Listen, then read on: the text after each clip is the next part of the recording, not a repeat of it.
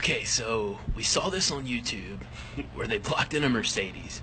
So we're gonna try it with this Beamer. Alright, so we're gonna pull these trucks in close.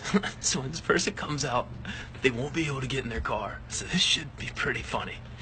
And we'll just see how they react. So uh, here we go.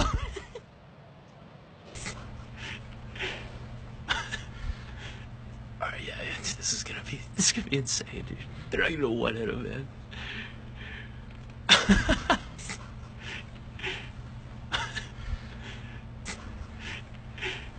hey, dude, dude, make sure it's close enough so she can't get in. Is it close enough?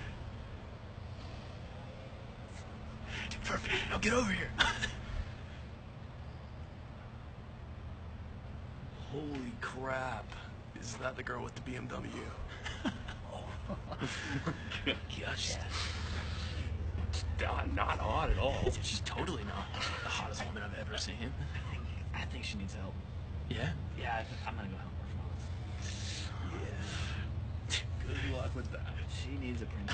Dude. She needs a prince. That's me. Dude, she doesn't know what to do.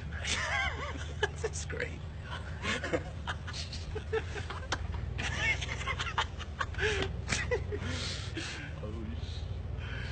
oh man. Wait.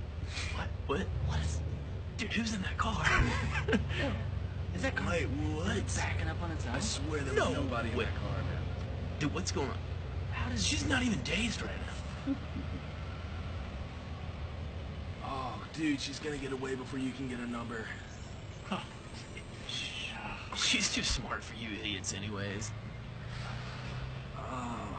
Lesson have we learned? Yeah, don't prank chicks with BMWs. I think I'd rather have the car anyway. At least you'd have a nice car.